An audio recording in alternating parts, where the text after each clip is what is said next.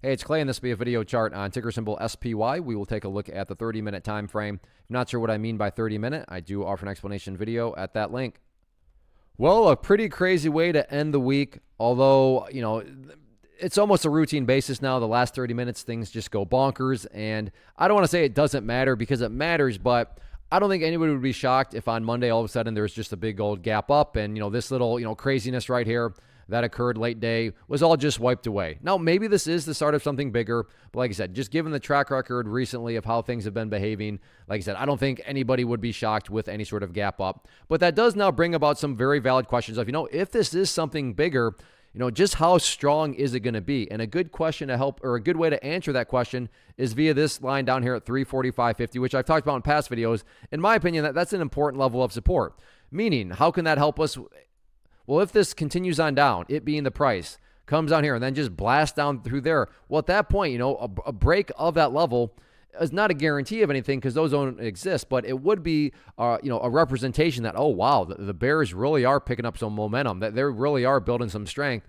And it just kind of compound that if the price were to go down here to that gap close location around the 344 mark and also break through there, at that point, I'd consider that a, a, relatively big red flag. And then at that point, be thinking there's probably even a bigger pullback to come after that.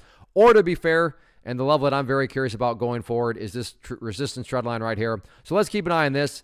Maybe the price just decides it's going to turn itself around go sideways, get up to that level, break through there, and then just continue on ripping to the upside. So, like I said, that's going to be an area of resistance that I think a lot of people will be watching going forward.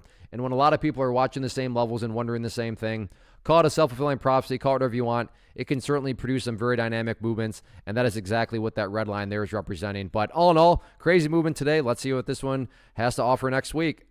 First off, thanks so much for watching the entire video. Real quick, before you go, I want to invite you to a live webinar, web class, training, workshop, online event, whatever you want to call it, but it will be me live revealing to you what I've discovered that has allowed me to transform myself from being an employee to being my own boss, including how I had only one losing day out of 73 days in total.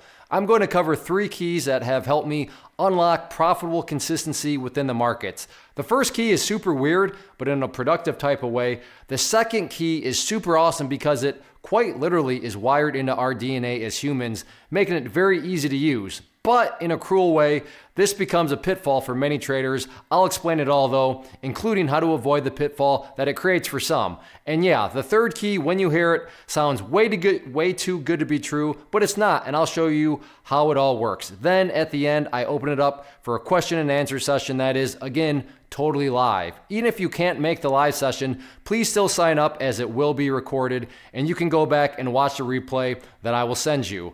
Click the image on the screen or click the link down in the description box so you can get the date and time and claim your spot, which I should note is limited due to the fact that this truly is a live event. If you have any questions, let me know. If not, I'll be seeing you soon.